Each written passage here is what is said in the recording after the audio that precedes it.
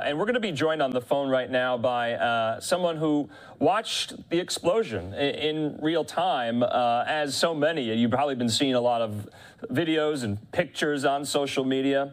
Uh, for those who actually caught this in real time, we're going to be joined on the phone right now by, I believe, South Carolina resident Cameron Dew. Cameron, do you have us? Yeah, I do. Uh, okay, Cameron, walk us through what you saw. I'm going to put up a picture for our viewers uh, that you sent us. Uh, this was what you captured on your cell phone. Uh, give us a sense. Sure. So as soon as uh, the balloon kind of came in sight in the area, my wife and I uh, were just watching it and kind of stayed stayed on it. It happened to pass directly over us. We're not too far from the Myrtle Beach International Airport. Um, it went directly over us, and as soon as you could tell it was out over the ocean, um, actually, it, it seemed like as soon it was over the ocean, they kind of um, went to it as far as taking it down. Uh, we heard a couple sonic booms, um, and then watching the contrails of one of the aircraft, you could see uh, another contrail coming off of it, which was a missile, and then uh, not too much longer after it hit in the balloon, another boom. Oh, that's so interesting. So, okay, I think a lot of viewers, uh, from our perspective, even my perspective, we've just seen images. So you heard very loud sounds. Yeah, yeah, there was most definitely uh, one or I want to say one or two booms uh, well before they came towards the balloon. So I believe the aircraft probably weren't flying supersonic and and did so when they went to take it out.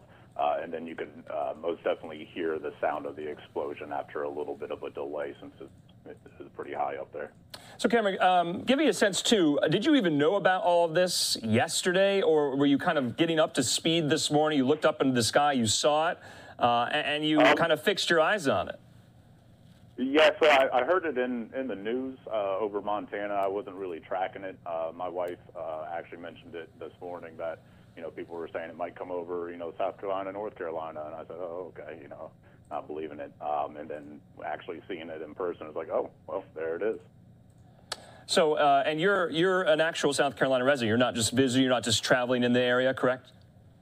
No, no, born and raised here. Okay, so give us a sense too, because you must be in contact, friends, family. Are they all uh, glued to the sky, or at least were they?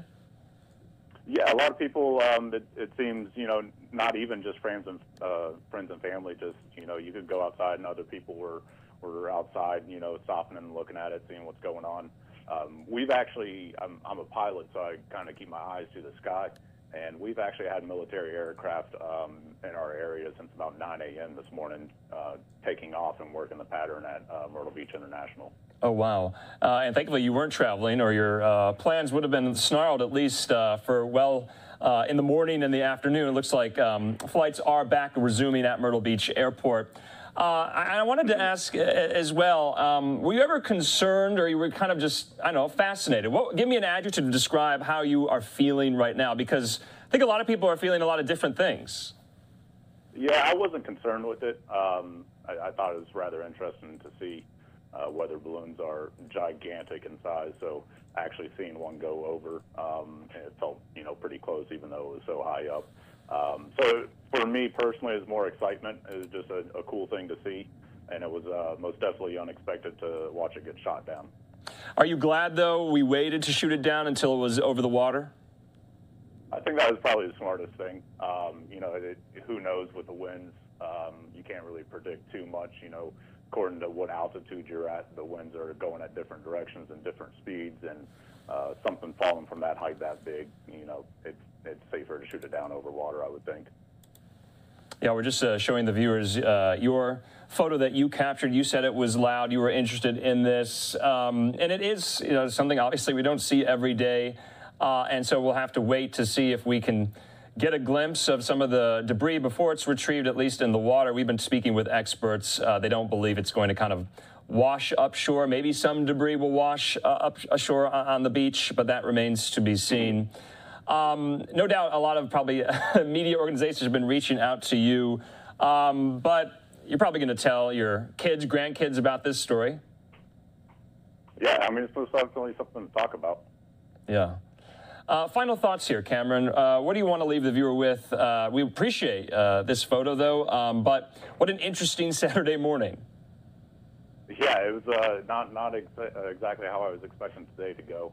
Um, like I said, it was pretty exciting to see. Um, it was cool to see the aircraft circling it all morning and and uh, kind of following as it went, and uh, seeing all the military aircraft taking off from the airport as well. All right, uh, Cameron Dew there in South Carolina over the phone with us here on Live Now from Fox. We appreciate your time. Thanks so much for joining us, and have a good rest of your weekend. Sure, you too. Bye.